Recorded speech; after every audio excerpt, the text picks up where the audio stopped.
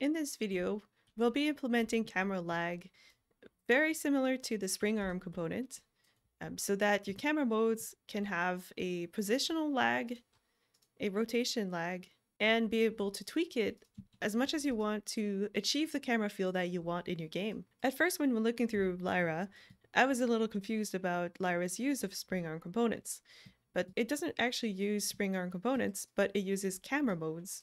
So what this allows you to do is to really specify how you want your camera to behave and where you want it to be and rotate towards uh, for each camera mode. Um, so the default camera mode is the third person camera mode. And then there's an aim down sight camera mode. And there's also a camera mode for when you die. So these camera modes come with Lyra out of the box, but it doesn't support camera lag. In this video, this is what we will implement. So essentially what we're going to do in this video is we're going to add this nice section in the Lyra camera mode for third person cameras um, so that you can implement lag the same way as you would for a spring arm component with the same properties that you may or may not be used to. Open up your project or solution in Visual Studio or Rider uh, my case, it, I just called it Camera Lag Lyra, and it's just based off a fresh Lyra 5.3 install. And let's locate the two files that we'll be modifying.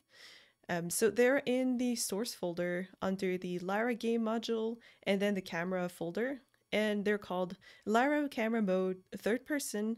And it's the header file and the C++ file. So go ahead and open those two. Uh, my UI looks a little different because I've activated the presenter view mode. Um, so hopefully the text is just more readable. Now navigate to the URL I've provided in the video's description. And this will be the code change that we need to implement the camera lag. So first, let's open up the header file. And the code I've added is surrounded by game change start and game change end. So you can go ahead and select all of this code all the way up to the game change end. And you can paste it in your header file under the crouch offset blend multiplier. These are all properties that come directly from the spring arm components properties.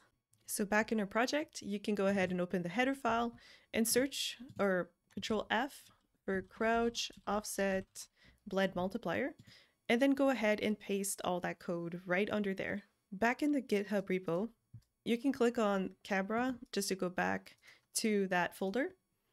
And you'll notice that the folder structure is the same as the projects. I kept it the same just for consistency. Um, so go ahead and click on the C++ file or the CPP file. And we'll pretty much do the same.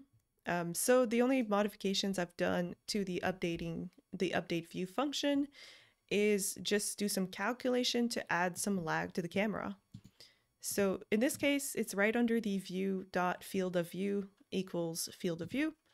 So go ahead and select from game change all the way to game end. So change game change end. Okay, and copy that. So this is also logic from um, the spring arm component, uh, but a little bit modified because uh, we're not using a component and there's some slight differences between that. You can go ahead and compare if you're curious uh, the logic from use spring arm component update desired arm location. Back in our project, let's open up the C++ file and then I'm going to search control F for update view.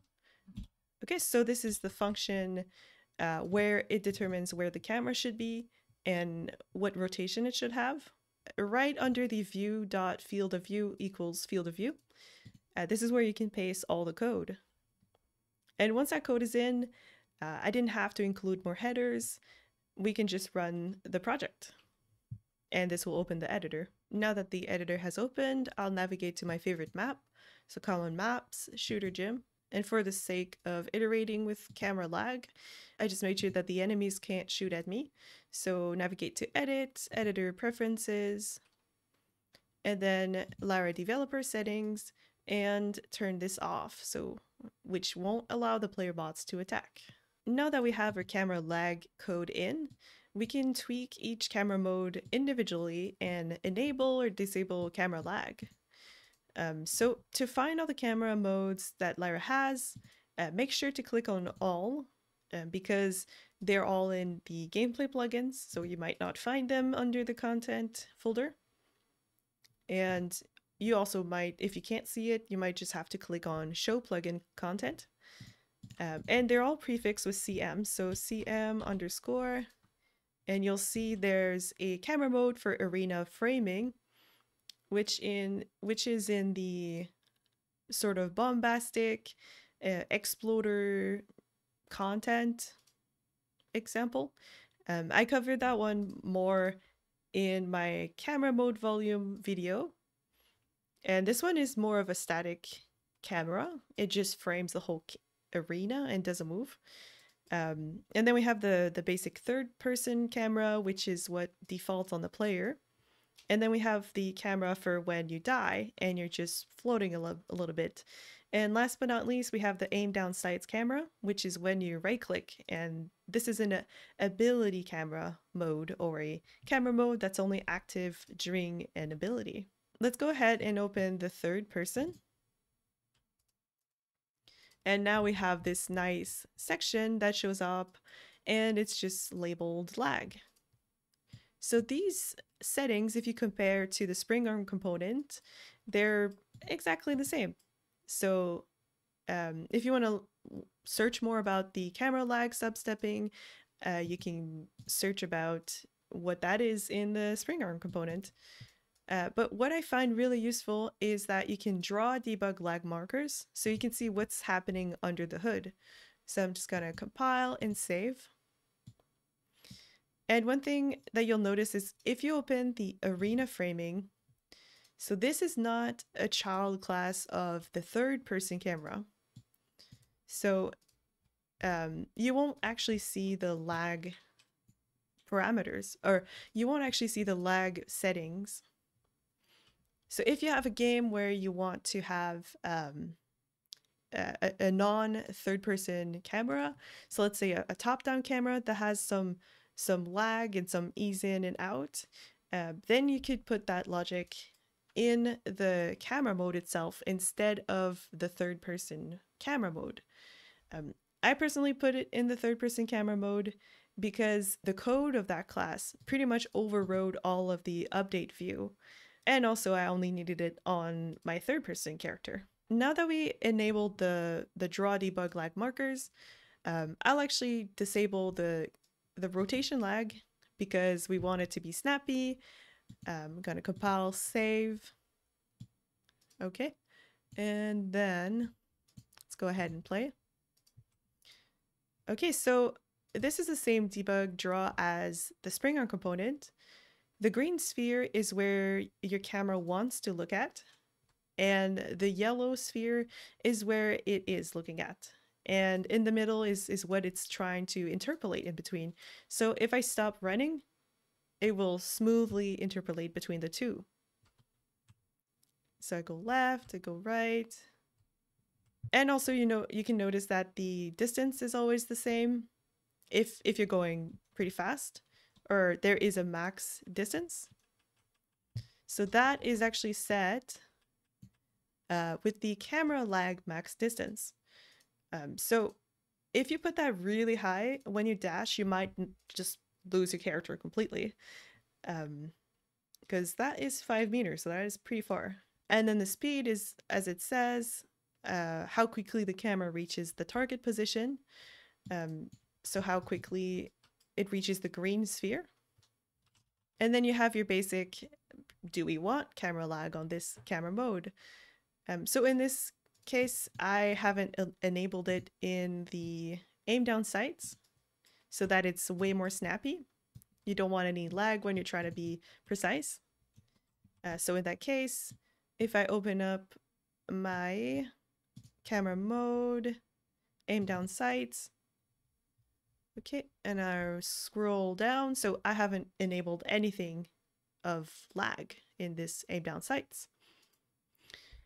So having the lag or using camera modes is extremely useful because you can really customize how you want that camera to behave depending on what mode it's in. So in my opinion, it's much better than the spring arm component. One uh, challenge or issue I found is that if you're trying to aim for enemies and you have that lag, you might actually have the reticle be on the player's head. Um, so we might need to tweak the curves a little bit. But let's say if if the camera lag wasn't on, so I'm just gonna stop this and open up our third person camera. So if it was if it was disabled, save that, then we wouldn't have that problem because it's always fixed. Um, so if you need a very responsive gameplay like this, you might you could enable lag but like really small. Or let's go ahead and go back to what the values I had. So enabling it and drawing the markers. So what we can do is we can modify um, the target offset curve. So as it defines it, it Lyra has really good tooltips. Um, so it defines the local space offset from the target and it uses the view pitch to evaluate the curve. So depending on how much pitch you have, it will have specific target offsets from the, the player. So in our case, we want it to just be higher. So you might still have trouble shooting when you're looking up, but I guess you're probably shooting at someone when you're around like this pitch. This one's actually nice because you can edit curves on the fly while you're playing. Um, in my case, I forgot to open it, um, so I'll just stop this and then we can double click on the target offset curve. Okay, and then we can play and we can actually modify on the fly. Okay, so I'm going to uh, search or just isolate the blue curve. Um, so when and around this one is when it might be problematic. Okay, so I'm gonna just move this up. So these two points here, I'm gonna move them up. Sweet, okay, so this way, when I aim and shoot, even if I have some lag, it shouldn't matter too much. So I'm, I'm just gonna test that. Okay, so that looks pretty good. So the crosshair is pretty much always free. Um, or well, not overlapping with our heads. So we're not trying to shoot through our heads somehow. Um, so I'm actually happy with this curve. Um, the one closer here could be modified. I'm finding that's another advantage of the camera mode and the way it sets its um, its target offset versus a spring arm component. So yes, now you have a way of having nice smooth camera lag to your camera and you can define it uh, per camera mode and it honestly feels smoother if in your game you're orienting the pawn's rotation to movement and your control rotation or your camera rotation is independent from your character's rotation, uh, what you can play with is you could also set the view control rotation to be the desired rotation. I haven't personally tested with this, but it might help smooth out uh, the rotation lag. And it's good to have that functionality that the spring arm component has, so we don't feel like we lost functionality. I found out why my character was so at the bottom left and so zoomed in is because I had a 1.3 application scale uh, just so that this video has a more readable font. Um, but what happens is um, when I go full screen, it cuts off a part of the screen. Uh, so that's why it looked all wacky. And I'm just gonna turn this back to one.